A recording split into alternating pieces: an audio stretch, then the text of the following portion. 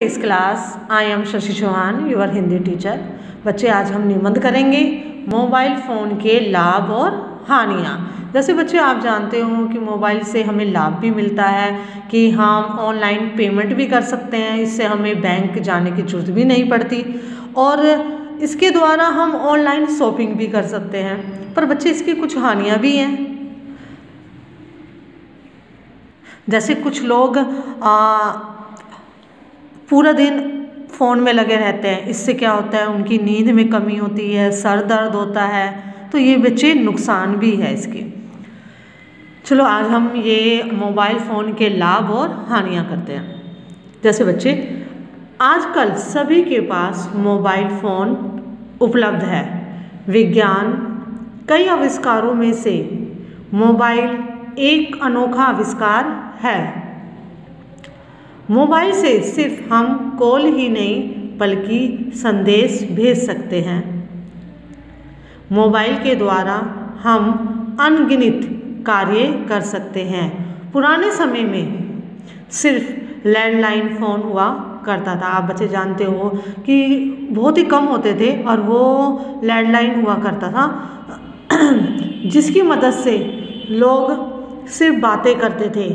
Telephone की सबसे पहली खोज ग्राम बेल ने की थी, लेकिन समय के साथ साथ मोबाइल फ़ोन का आविष्कार हुआ।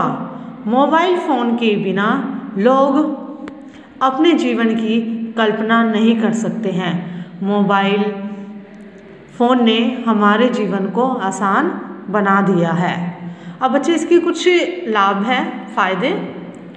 मोबाइल फ़ोन को हम कहीं भी लेकर जा सकते हैं। जानते हो आप छोटा मोबाइल होता है, छोटा होता है, इसको हम कहीं भी जेब में डालकर ले जा सकते हैं।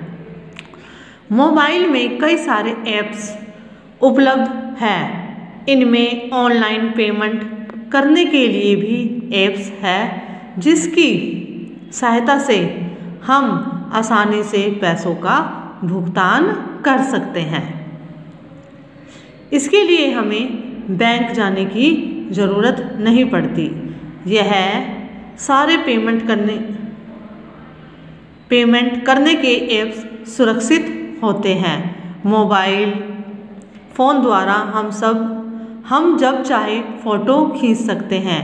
अपने यादगार पलों को मोबाइल फ़ोन के, कोई भी कैलकुलेशन, मोबाइल के कैलकुलेटर द्वारा आसानी से की जा सकती है। मोबाइल पर कई सारी सुविधाएँ हैं, जिसमें कैलेंडर, अलार्म घड़ी, टाइमर शामिल है।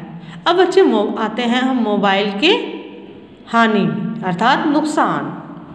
मोबाइल का अत्यधिक इस्तेमाल सेहत के लिए अच्छा नहीं होता है।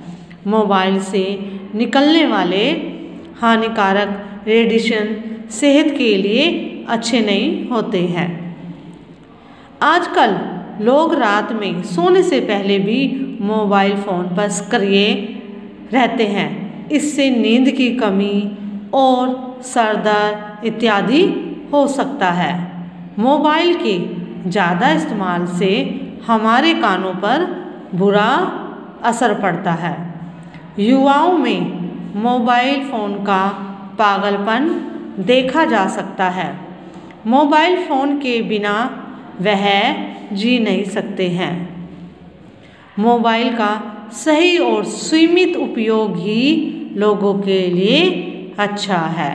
तो बच्चे, जैसे कि हमने ये निबंध पढ़ा कि इसमें मोबाइल के फ़ायदे भी हैं और नुकसान भी है।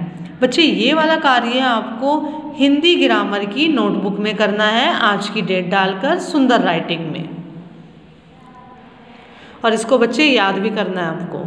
वैसे आप जानते ही हो कि मोबाइल से हमें लाभ क्या होते हैं, नुकसान क्या होते हैं, इसको आप बनाकर भी लिख सकते हो, इस निबंध को। Thank you